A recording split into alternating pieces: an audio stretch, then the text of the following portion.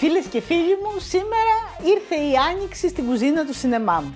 Θα φτιάξουμε μια καταπληκτική ανάλαφρη σάλτσα πέστο και δεν μπορείτε να φανταστείτε τι γίνεται. Την κρύβω καταρχήν, διότι όποιος μάθει ότι έχω φτιάξει αυτή τη σάλτσα και υπάρχει στο ψυγείο, πάνε, ανοίγουν, παίρνουν ένα κουτάλι, δοκιμάζουν. Βασιλικό φρέσκο πλατήφυλλο, μπόλικο παρακαλώ, μαγιονέζα,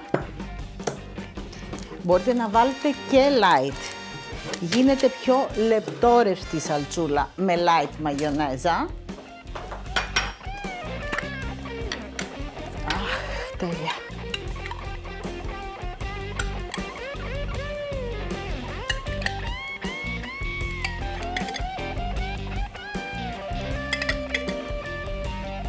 ένα μεγάλο βάζο ή δύο μικρά μας βγάζει αυτή η ποσότητα. Αφού την κάνουμε που την κάνουμε, να κάνουμε κάμπος, έτσι, μπόλικη.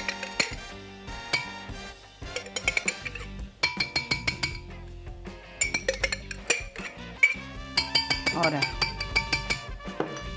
Βλέπετε, έχει μείνει κάμπος εδώ. Θα σας πω εγώ το δικό μου κόλπο. Λεμονάκι, αλατάκι,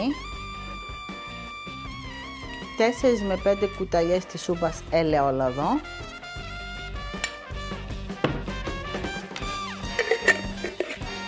Χτυπάω για να μαζέψω τα υπολείμματα της μαγιονέζας από τα τυχώματα. Βλέπετε η πυκνότητα πως πρέπει να είναι.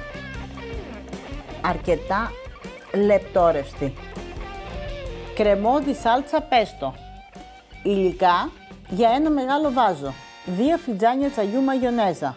Με σάλτσα από πέστο και μαγιονέζα. Καλή μας όρεξη.